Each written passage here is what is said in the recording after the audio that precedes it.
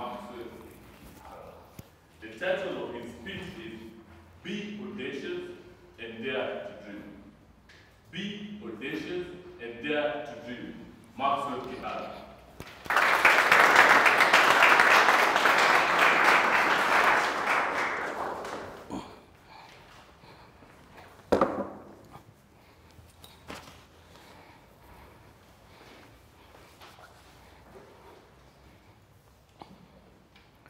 Faith is taking that first step when you can't see the whole staircase. And this is exactly what I launched out to do in April of 2008. With great excitement, plenty of enthusiasm, and exceeding joy, I launched my dream company. Not on two, not on four, but on 800 square feet an enormous leap of faith. So big and scary was this leap of faith that I remember sitting on the unfinished floor, petrified and wondering, Maxwell Kihara, how on earth are you going to pay for rent? Let alone payroll and other accompanying costs. By the grace of God, however, the company bloomed and blossomed. We did grow in capital, revenue, and size. In fact, I dare say we were doing so well that I decided to spread my wings of investments in other areas. After all, I felt like I was a true Viking king of the entrepreneurship kingdom. Mr. Contest Chair, Toastmasters, and invited guests, what do you do when your best laid schemes go askew?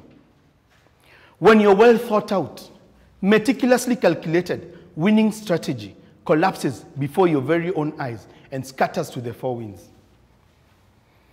Out of nowhere, from nowhere, and with no warning, my business empire came crashing down like a house of cards.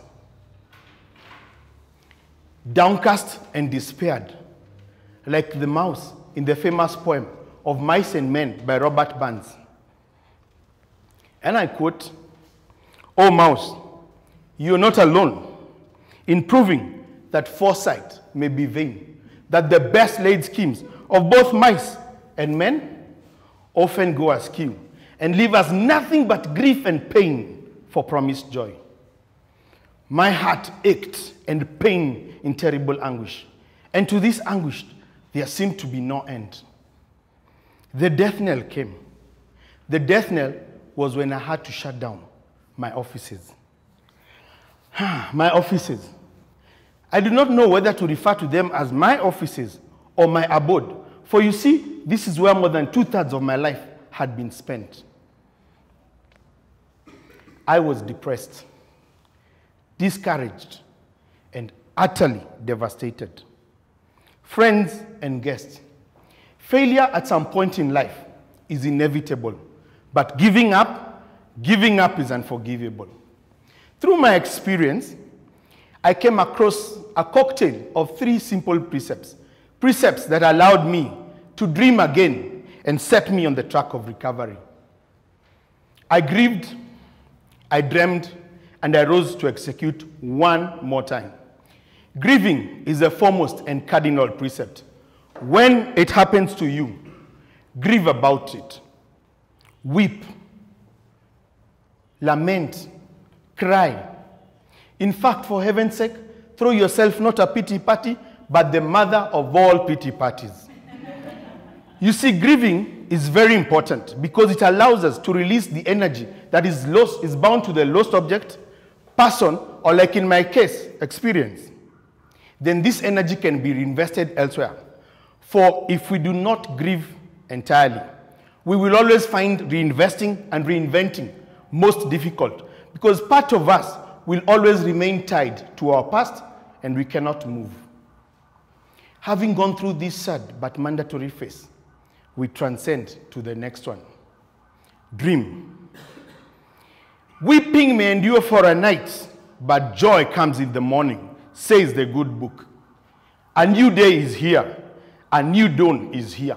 It is time to dream again. So wipe your tears, cast off the mourning garment, light some scented candles, and enjoy a hot bath. Put some music on, and dance to the beat. Fellow Toastmasters, T.E. Lawrence said that all men dream, but not equally. Those who dream at night in the dusty recess of their mind wake up in the day to find it was vanity. But the dreamers of day, these are dangerous men, Wangondo. For with open eyes, they make their dream possible. Become a dreamer of day. I can see some lovely smiles, meaning some of us have started dreaming. Fantastic. So, what do we do with our new birthed dreams? This ushers us to the third and last precept execution. Kindly look at your neighbor and tell them, execute. It is the simplest of them all, but the least achieved. Colin Powell put it superbly well when he said, A dream does not become reality through magic. It takes sweat, determination, and hard work. I choose to belabor less on this precept so that you can labor more on executing it. Two years ago, through this simple cocktail of grieving, dreaming, and executing, I did start. This time, not on 800 square feet, but from this simple briefcase with three items in it. The first one was my invoice book.